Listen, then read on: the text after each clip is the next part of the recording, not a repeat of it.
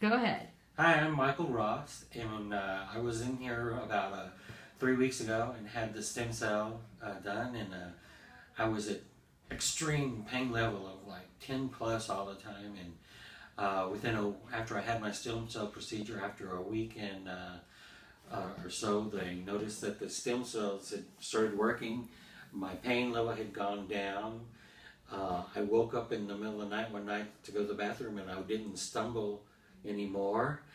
And uh, a few days later, I uh, noticed that uh, I could uh, walk and my wiggle my toes, which I hadn't been able to do for 15 years. And uh, my acupuncturist, when I went to her, she was now calling me, and my feet I jumped because I could feel the the coldness of the uh, acupuncture. I mean the needle, the alcohol, and I can walk with my normal gait again.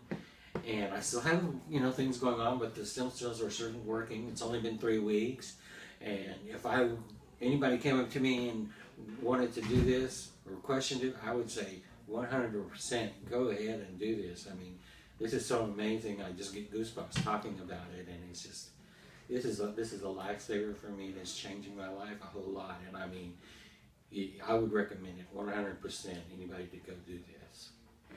Thank you. And um, you had peripheral neuropathy, is that Severe correct? peripheral neuropathy caused by chemotherapy 15 years ago, and uh, being able to wiggle my toes and walk is just so amazing. It's just I, I just can't believe it. It just I wasn't surprised that even after a week it was happening as I was expecting to wait four weeks, and I thought, oh my gosh, am I doing something wrong?